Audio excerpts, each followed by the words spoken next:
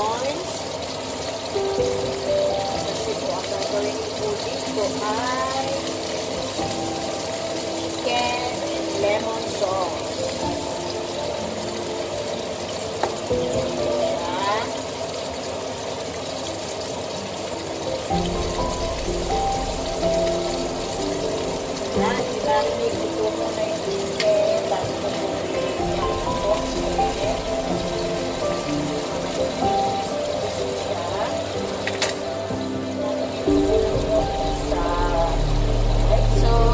Thank you.